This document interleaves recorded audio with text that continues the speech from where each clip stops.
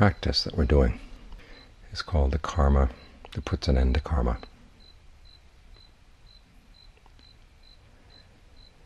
And because karma is intention, it means it's the intention to put an end to intention. That's why it's tricky.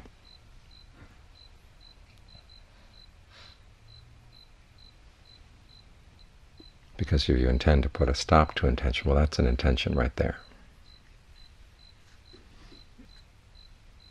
But that doesn't mean it's impossible. It simply means there are going to be some unexpected twists and turns along the path.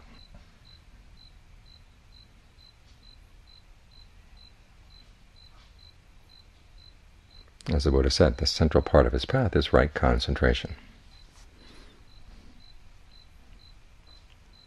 And concentration basically means a firm intention, sticking with one object. You focus your your intentions on this, how to stay, say, with the breath, how to stay with goodwill, whatever the object of your meditation is.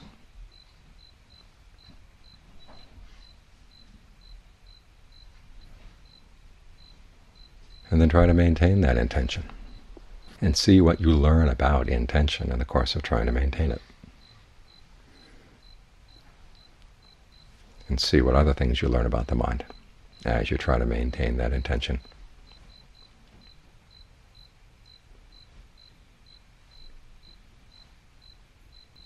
The usual culprits to begin with are distractions, either internal distractions or outside ones. The internal ones are just other thoughts that come up, other intentions. In the beginning, you hardly realize that they're intentions. You're focusing on the breath, everything seems fine, and then suddenly you're someplace else, half a world away. As if someone had come and put a sack over your head and dragged you off and then deposited you someplace else. You don't know what happened in the meantime.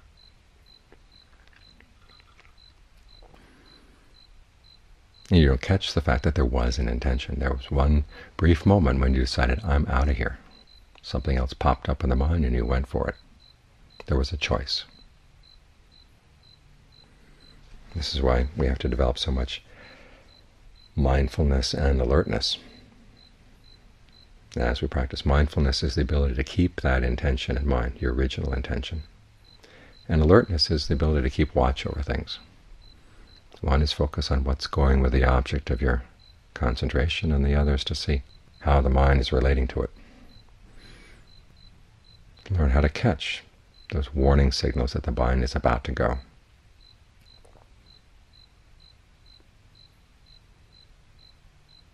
And it takes a while for you to catch them because they're quick and subtle. But the only way you're going to see them is if you try to stick with your original intention and keep yourself warned. Okay, the mind is going to leave. Watch for how it does it.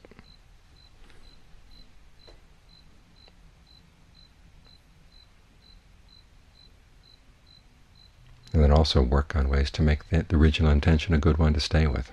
Otherwise the mind's going to resist. It's going to be like trying to keep a balloon underwater. It'll stay underwater only as long as your grip is really secure. As soon as there's the slightest bit of slip, there it goes, popping up out of the water. So this is where you have to get your defilements on your side. They want comfort. Okay, give them comfort. Try to make the breath as comfortable as possible. And breath here is not just the air coming in and out of the lungs, it's your whole sense of energy flow in the body.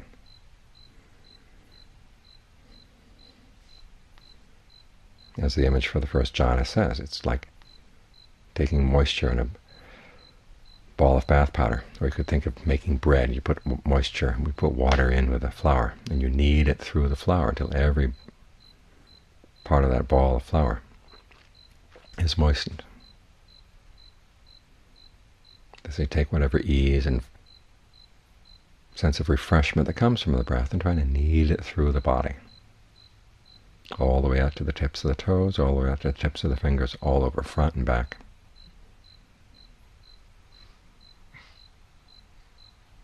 that makes it a good place to stay. Or you can think of systematically going through the body. Relax the fingers, relax the palms of your hands, relax your wrists, relax your arms. Any, er, anywhere you can see there's tension that pulls you out of a nice, comfortable, straight up and down posture. Just go up your arms, start with your toes, go up your feet, your legs, the pelvis, up the back, to the neck, and all the muscles around the head. And then try to develop that all-around awareness that can keep them all relaxed all the time. Makes the body a much nicer place to stay.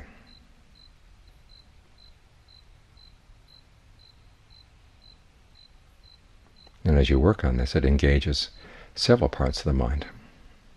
The desire for pleasure and the desire to explore. As you begin to see connections throughout the body. This means you've got allies inside.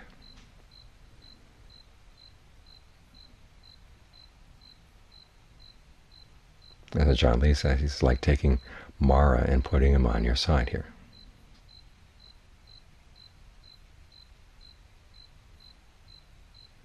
So that's one strategy. Another strategy is you have to learn to be very quick with your distractions. It's so easy to get entangled in the, the storyline of wherever your thoughts lead you. If it's inner distractions, a little thought bubble comes up in the mind, you say, let's explore this and see where it goes. And you can find yourself in the Andromeda Galaxy. I mean, it can take you far, far away. And sometimes it's hard to pull yourself out because you want to see how the story ends.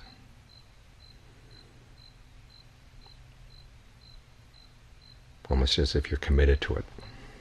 You see this very easily. You walk past a TV, and all of a sudden you find yourself in some stupid story. You know the stu stories on TV are stupid, but you still get sucked in. That's because you allow yourself to get sucked into these stupid stories in your mind.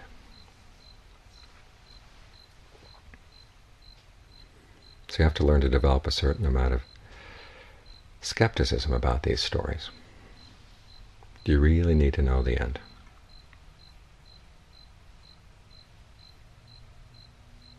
And learn how to cut things off in the middle of the story.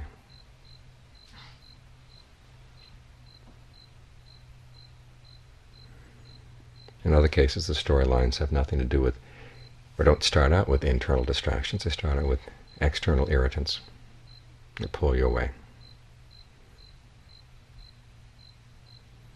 someone else says something or does something that irritates you, and all of a sudden you're focused on how much you don't like what they did, said or they did.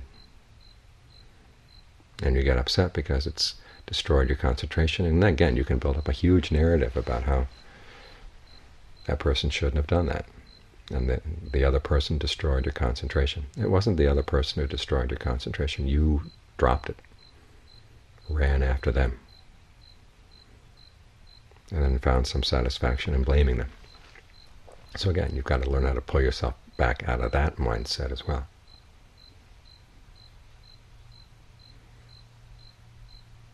No matter what anybody else says or does, your breath is still there. You made the choice to leave. That's what you've got to watch out for.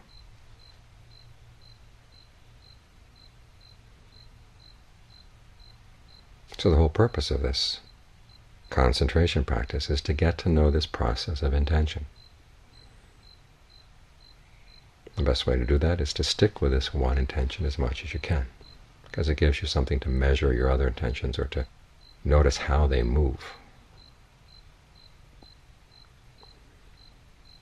And at the same time, after the distractions get less and less compelling, you begin to look into this intention that you're trying to maintain. What is it made out of?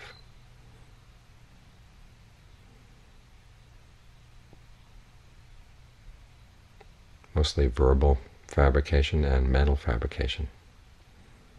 The verbal fabrication is directed thought and evaluation, two of those factors of jhana. Directed thought is when you focus your attention on an object and evaluation is when you evaluate it. See whether you like it, don't like it, what comments you have to make on it. And then there's just the basic feeling and perception that forms mental fabrication.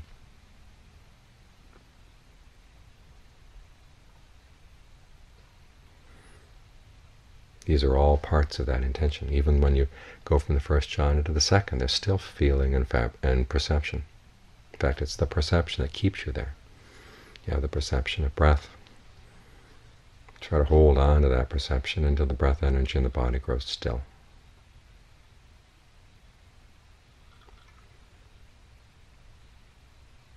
Then you stay with still breath as your perception. And then after all, that the border between your body and what's outside of your body begins to dissolve. Because you begin to realize that border was partly a perception, it was partly reinforced by the movement of the breath. But when the breath gets still, there's nothing there to reinforce it. And you begin to realize you can adjust your perception to space or consciousness. And there's no border to these things.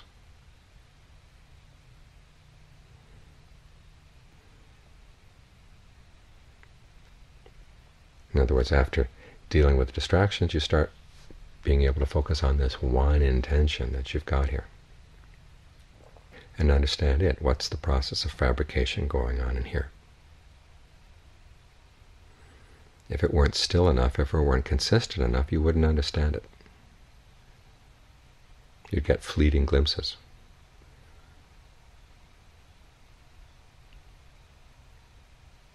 And a lot of your insights are just that, little fleeting glimpses, and then you try to connect them. It's like playing connect the dots.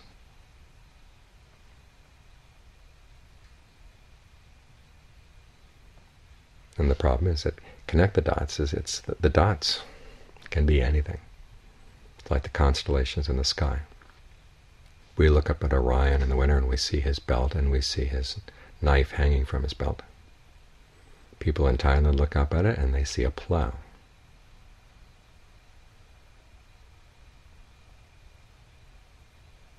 The belt is the, the actual plow, and then the knife is the part that pulls the plow. And it's the same with most of our insights. If our awareness isn't continuous enough, all we see are the lines. We don't see the actual dots.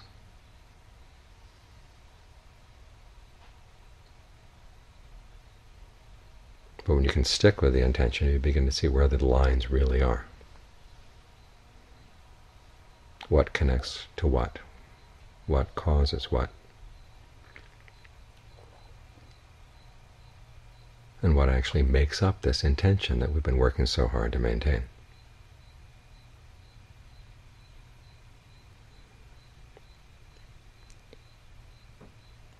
The other insight that comes is as you're maintaining an intention, it's like maintaining, say, a yoga posture. They talk about relaxing into the posture. And it's the same way, relaxing into the concentration. After all, you begin to realize that certain activities in that intention are not necessary. After the mind begins to settle down, you have less and less need for directed thought and evaluation. The breath gets more comfortable. You get more settled in, and there comes a point where you can drop the directed thought and evaluation, just be there one with the object, one with the breath. Same way that when you're in a yoga posture, you begin to realize that there are certain muscles that you've been tensing that are really not necessary to tense. In fact, you'd be more comfortable in the posture if you relaxed it, those muscles.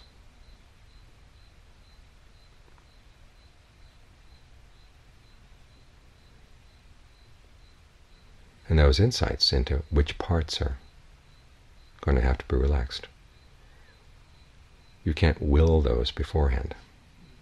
You can pose the question in your mind, and that's what insight practice is. When the Buddha talks about how you develop insight, it's how you pose certain questions in your mind. How should fabrications be regarded? How should they be investigated?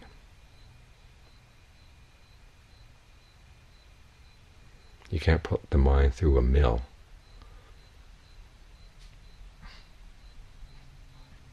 and guarantee that it's going to come out with insight. But if you learn to pose that question, and this is basically these are basically the questions that come from the Four Noble Truths. Where is the stress? What are you doing that's causing the stress? It starts with simple things like this. What is in the breath, what is tense in the body, what is blocked in the body that's really unnecessary. And you learn to relax it. Then in this state of concentration you have, okay, where is there still unnecessary stress and tension that makes it hard to maintain the concentration once you've settled in? We can learn how to relax those mental activities. Okay, that's the pattern, and you follow that pattern all the way through as it takes you from one level of concentration to another.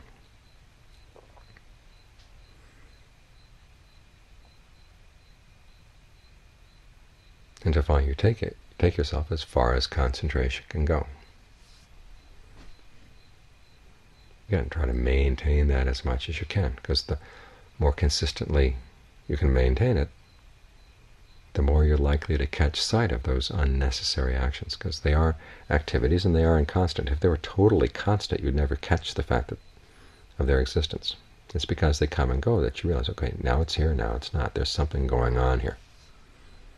The stress comes, the stress goes. The cause comes, the cause goes. And it's a question of learning how to catch sight of it. And you pare down that intention of staying still until Okay, there's nothing left to pare down without totally dropping intention.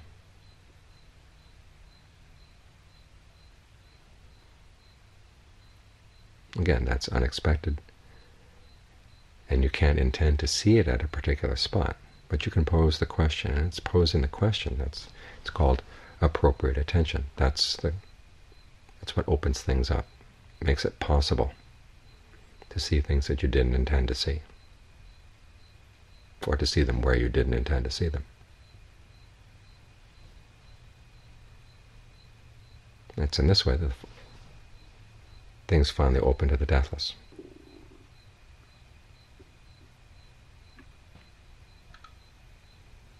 Again, the deathless isn't intended. It's something, when you hit it, you realize it was always there, and nothing you can do to, will change it. But you didn't notice it because you were more involved in your intentions and the results of your intentions. But you can't get there simply by saying, okay, I'm not going to intend anything anymore. That doesn't do it. You have to intend right concentration. That's the doing. That allows you to understand what it means to do well enough so you can actually stop doing.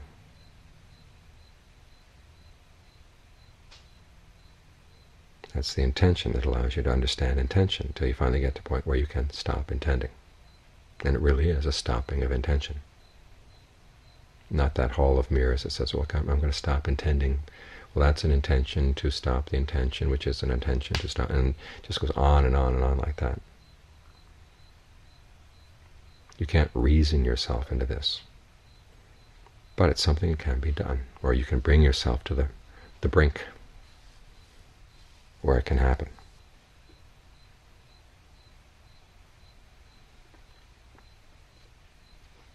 So work at this intention, get to really know it, get to be on good terms with it.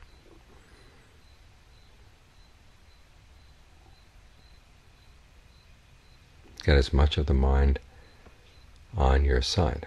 I said, they're making the breath comfortable, they're making the, the process interesting.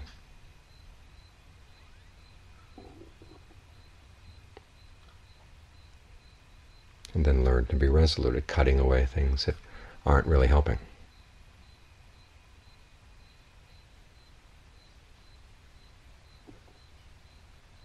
Things that pull you off in other directions.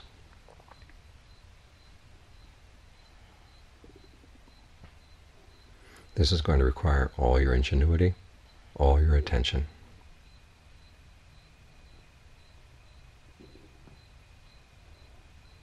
But it's one of the few skills in, in life. It really is worth it. It really does more than repay all the effort put into it.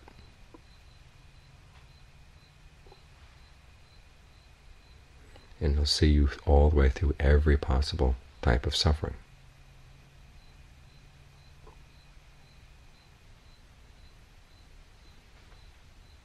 Because its rewards are, are more than you can intend. You can think about it, you can have a picture of what it's like.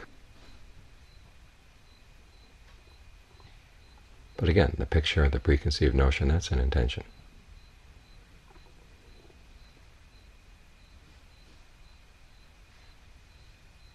It's part of the path. It helps you along, but the actual rewards when they come are much greater.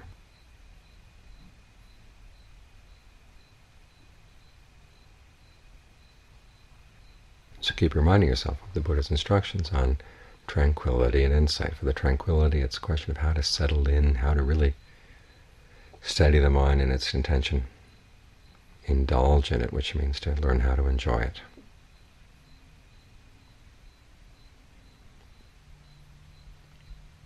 And then learn how to question it. Not in the sense of doubting it, but learn how to question what's going on here.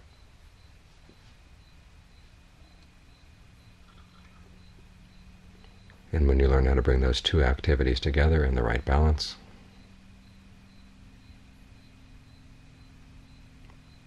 then you really learn what the Buddha was talking about.